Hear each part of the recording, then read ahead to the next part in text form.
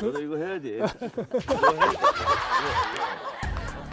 형 내가 이렇게 이렇게 했어 이렇게 이렇게 했어 내가 이렇게 형 그렇게는 안 했다 형 우리 네, 같이 한 가자. 내가 언제 자, 형 내, 자 아, 네. 시작. 내가 언제 이렇게 내가 언제 이렇게 했어요 너 그렇게 했잖아.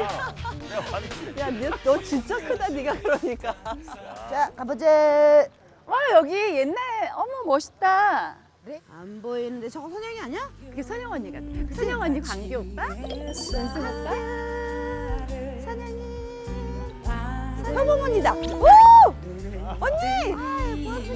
안녕하세요. 아 입증해줘 왔네. 안녕하세요. 네. 공연장에서 뵀죠. 그러니까, 예, 우리 초면이었어. 그때. 아 정말로 유충이하고는 그날 처음 뵀어.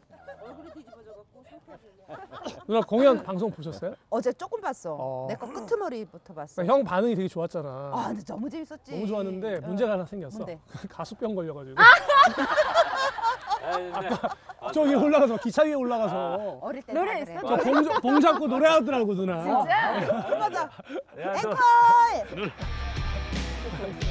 뭐가 아 저거 마이크야. 어. 기차에 올라가가지고 무대 발, 줄 발. 같이 해줄게, 발 같이 해줄게. 시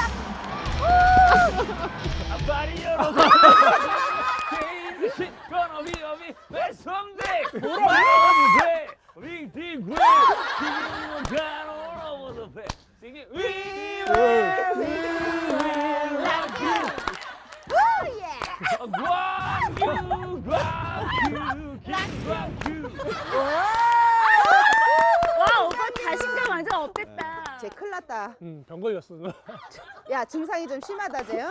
어떡하니? 약 먹어야 될 수준인데?